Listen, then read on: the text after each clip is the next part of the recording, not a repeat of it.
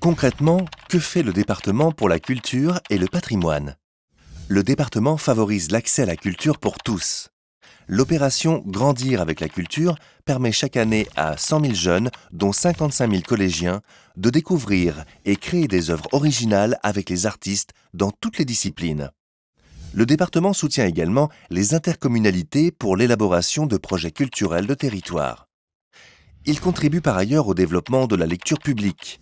La bibliothèque départementale de Loire-Atlantique fournit des ouvrages à 197 bibliothèques, forme les bibliothécaires et propose aux lecteurs de nouveaux services Internet.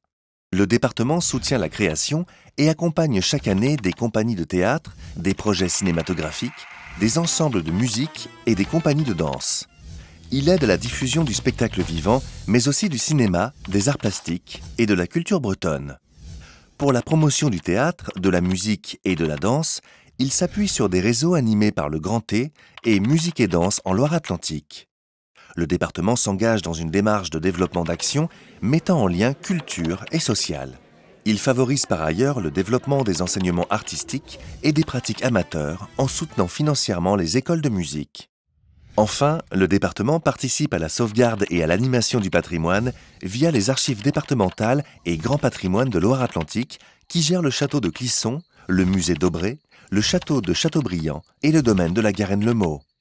Au-delà de la gestion de ses propriétés, le département apporte une aide financière et technique à l'ensemble des initiatives portées en faveur de la restauration, de la valorisation et de l'animation du patrimoine, qu'il soit protégé ou non protégé.